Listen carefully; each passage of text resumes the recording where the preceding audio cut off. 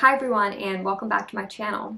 So today I decided to come on and talk about something that I've been contemplating talking about for a while, um, kind of deciding against it and then for it. And you know it's a bit more serious and something that's a little bit sensitive. But after going back and forth thinking about if I want to talk about it or kind of share it publicly, I decided that, you know, maybe it will help someone else in their journey as well. It's something I've been keeping just between myself and some close friends and family members, but again, I kind of thought maybe my journey could help someone else. So I'm here to talk about my IVF journey so far. So anyway, let's get into it.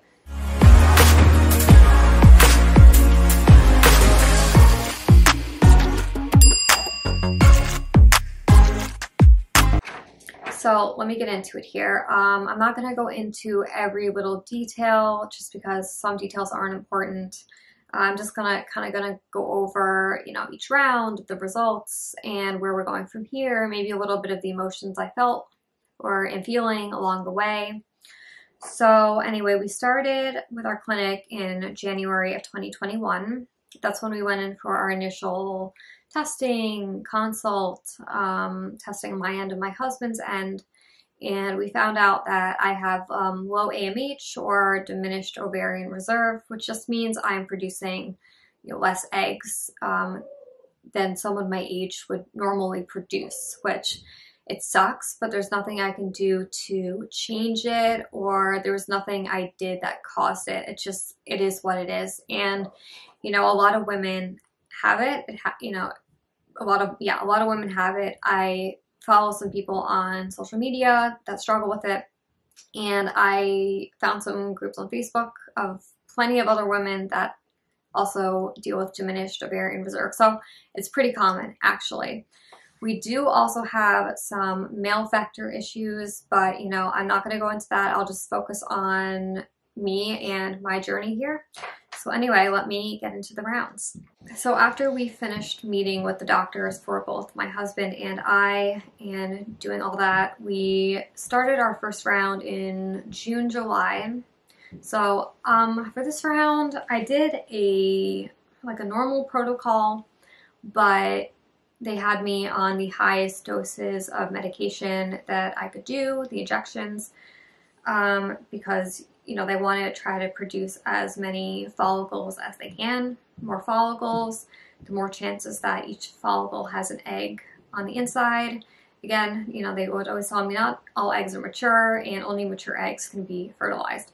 So we try to get as many follicles as we can.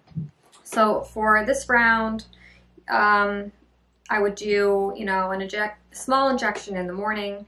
Everyone's protocol is different, by the way. So, you know, I would do injection in the morning and then my husband would draw up a larger injection for me at night, mixing a bunch of different meds together and do that for me. So I did that. Um, you know, that was pretty much like every round I would do a bunch of injections. But anyway, results of the first round, I had four follicles retrieved um, of those four, uh, two were mature and only one fertilized. So, um, by the way, I've done four rounds of IVF so far. We're going to be doing our fifth this summer. Um, so, back to my first round, this one, yeah, this one fertilized and I was happy. I was like, great, you know, it fertilized and fantastic. And, you know, sometimes they make it, sometimes they don't. Anyway, long story short, that um, that one fertilized um, egg did not make it to what they call a blastocyst. Um, so when it makes it to a blastocyst, they either do a fresh transfer or they freeze it and send it off for biopsy to see if it's chromosomally normal. And my husband and I decided that for all our embryos that we get, we do want to send them off just to make sure they're chromosomally normal, um, decrease the chances of, you know, us implanting them and having a miscarriage. So uh, anyway, that one did not make it. And yeah, I was very, you know, I was pretty devastated for that first round because I was like, oh, oh, geez, you know, first round didn't work. Um, what are we gonna do? Um, but you know, we just got to keep moving on, keep keep chugging along, and jump into the second round. So a lot of people do like three day transfers as well. Like if they make it to day three, then they transfer them fresh right away. I asked my doctor if this makes sense for me, and every doctor is different, every person's different. So what works or what I've been doing may not be the best for you if you're watching this and going through IVF. But she told me that if the, you know, the fertilized embryo makes it to blastocyst in the petri dish, then there's a better chance that it will survive, you know, inside in your uterus. So um, she told me that, you know, I should probably just wait to see if they make it to blastocyst and then send them off for testing like we want to do. So anyway, into our second round, she told us that we're going to change my protocol a little bit. So what we did is we added a testosterone primer for each of my next rounds. So what I would do is I would, I got this testosterone gel and um, every night I would rub it on my arm, like up here. And, you know, sometimes I would alternate arms. It didn't really matter. It was just, it's just a small testosterone gel. And she told me that would help me produce uh, more follicles and have a better chance of them, I think, being mature too. So I did that. And during my second round, I did the, did I do the, yeah, I did the same uh, meds as the first round same doses and everything. And for this round, I had, let's see, I had six follicles retrieved. So I was super happy. That's two more than the last time. And five were mature, so great. And then uh, four fertilized. And then one made it to blast out of those four. So um, yeah, I was I was over the moon. I was so happy that it made it to blast, and we did send it off for our biopsy, and it did come back as chromosomally normal. So we do have one embryo that's currently frozen, and we will transfer at a later date. But my husband and I decided ultimately that we do want to have um, a couple banked or frozen before we start transferring them. Initially, we didn't think it would be this hard to get um, to get embryos. We thought going in like, oh yeah, we'll do a couple rounds or one round or two, we'll get embryos and we'll start transferring them right away. Uh, yeah, we didn't know that we'd be right now going into our fifth round of trying to get embryos, but anyway, I'll get there. So we have, at this point, one blastocyst that is normal, and right now it's frozen, transfer at a later date we decide let's move into round three to try to get more. So round three, here we are. So we decide to go in for round three now, and I'm thinking, you know, uh, last round was great. We got one blastocyst, so this round is going to be fantastic. You know, it's hard, it's really hard not to compare yourself to other people who are going through this because you know, I'm in this one IVF group where girls are coming in and they're like, oh, you know, I got 20, 20 eggs and 10 made to blastocyst. And then, you know, you're kind of like, I'm like this, you know, yeah, but I, I got one. um, but I have to step back and remind myself everyone's journey is different and I can only, I can't control this situation. Um, one thing about this whole IVF journey, I know I'm going off on a little bit of a rant here, is it's taught me a lot about control, um, that I cannot control this situation. I just have to, you know, just see what happens and just go with it. Um, that's, you know, it is what it is. So anyway, round three, I did the same thing. So the month before my next round. So now we're in my second round was in August, September. So now we're in October, November. So I am priming the month before with testosterone. So for this round, I did the set the same medications, but a different brand. Um, so same medications. The doses were a little bit different just because the brand was different, um, but ultimately it was just the same the same thing. So went into this round and I had eight retrieved and I was so happy. I was like, this is the most I've had retrieved. Um, yeah, so happy. And they would they called the next day with a fertilization report. So for this round, I had four or five were mature. I had it written down um, somewhere, but I lost it. It was four or five that were mature. And of that four or five, only one fertilized. So that was hard because, you know, I know the odds of when one, one fertilized, uh, the chance of it making it, um, you know, are not great. I mean, again, everyone is different and everyone's circumstances are different. So, you know, I was trying to really remain positive, but it was hard. It was hard. Um, this whole process has been hard.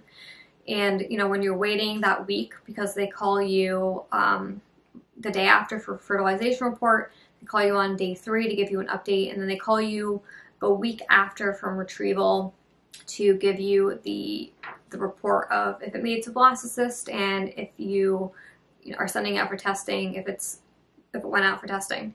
So that week is really hard to wait and see. So um, at the end of that cycle, that one did not make it. Um, so now we've done three rounds and we have one blast in the freezer. So, you know, I asked my doctor too at this point, should we keep going? Should we take a break and just give my body a chance to rest? Because, you know, I'm doing injections every other month and doing testosterone. I've been doing this since, um, yeah, June, July, and now it's what? It's November. And she told me, you know, if you physically can do it, mentally can do it, just I would keep going. So I'm like, all right, let's keep going. So now we're getting into round four, which is our most recent round. All right, so for this round, round number four, I, you know, did testosterone priming in December. And we switched back from the other brands of meds back to the meds that we were doing for our first and second round. We figured that maybe they would work better. I don't know. Um, so we just we just decided to switch back to the other brands of medication that we're using, go back to our original protocol. So we did that. Um, so I started injections in January, and usually I would do injections for about, uh, I would say I would do them for about 12 or 13 days, um, then trigger, and then go in for my retrieval. So maybe I was on medications for about two weeks, um, doing injections for two weeks. So yeah, my month of priming and then injections and then I had my retrieval and for round four, we had seven that were retrieved and then four were mature and then again, one fertilized. So again, I was, you know, pretty upset and I'm thinking, you know, it's frustrating, it's sad, it's very emotional, and it's it's just hard because it's one of those things that you can't do anything to change it. Um, you just have it. It is what it is. You can't do anything. So, um, yeah, one fertilized. So again, I am waiting that week, um, and my doctor calls me, and I am hoping for the best, but preparing myself, but really, really hoping for the best, putting myself in a positive mindset, but you know, knowing the news I might not, I might get might not be the best. So doctor calls and she tells me it made it. And I'm like, what? So she says, yeah, made it to blast. We sent it to biopsy. And I am so happy. I called my husband and we are over the moon. We are so excited. We're like, finally, we have two blasts after four rounds. Maybe we can, you know, we decided let's just, if this comes back normal, we'll just start moving to a transfer. Um, So we're, we're thinking, you know, we would like to get more more blasts, but you know, let's just move to a transfer. Let's just start having a baby, you know? It's been it's been like a basically a year now since we started the process. So I'm thinking, you know, the last one we sent away for testing came back normal, and so this one should be fantastic and great, uh, come back normal. And I asked my doctor, what are the odds of it coming back abnormal? And she tells me, you know, since you know you're young, so you have still good quality eggs. It's just you know your egg count is lower compared to other women. So she said, I think it was 75% chance that would come back good. So I'm like, all right. So my husband and I go away on vacation to Antigua. And, you know, we're kind of like in still in celebration mode. And I'm waiting for this call because it takes two weeks for the biopsy to come back. For our first blast, it actually only took a week, but for this one, uh, it took two weeks. So we get to Antigua, and the day after we get there, my doctor called and she told me, you know, I could tell when I could tell when I pick up the phone with her if she's about to give me good news or bad news, you know, by the tone of her voice. So my husband and I just had lunch. She calls me and I, you know, I'm ready just to go in and hear great news and just ask some questions about the next steps. And she says, Hi, Kaitlyn. And I'm like, Oh no. Yeah, I can hear it in her voice. So she basically tells me, well, she tells me that the, um, the uh, embryo came back uh, abnormal. So it's, you know, not viable. Um, and to say the least, it was devastating. After that call with my doctor, yeah, I went back to the room and I cried and I got it all out. But, you know, I was like, I can't sit here and wallow when we're in this beautiful place. So I let myself feel the feels for a bit and then I kind of just was like, all right, enjoy your vacation and we'll deal with the rest when we get home. So it was hard and, you know, it still is hard. Um, just to think that we were, we thought we were at a place where we can put the rounds behind us, and now we have to do more. Yeah, so we're doing another round over the summer um, because I do want to give my body a chance to take a break um, from all the injections I've been doing for the past eight, nine months. So yeah, just a good idea for me just to chill for a couple months and then we'll jump into round number five. Um, yeah, this uh, whole IVF process has just been so emotionally and physically and mentally draining. Um, but it's also, you know, taught me a lot in patience and control. And there's not a lot I can I can do, you know, unfortunately. You know, I'm just so used to, you know, you put the work in, you do the thing, and you get the result, right? This is something that you can't do that with. So, you know, I just kind of got to roll with it. So it's been hard, you know, I'm not going to lie. So I'm just putting it out there, you know, this out there for anyone who's kind of going through the same thing that you're definitely not alone. If you want to reach out to me, I am here to lend an ear, discuss. So yeah, that's been our IVF journey so far. So maybe I'll keep uh, everyone updated with small things here and there. We'll see. Um, not giving any specific dates yet regarding when we're doing our next round, just because I don't know if I want to share that yet. It just might something I keep personal for a bit maybe I decide to share it. I don't know right this minute. But anyway, that's been our IVF journey. if you like this video, um, well, thank you for joining me in my closet to discuss our current IVF journey. Um, yeah, so if you like this video, I would appreciate if you liked, shared, and subscribed. You can also find me on Instagram, and I'll catch you in my next video. Bye.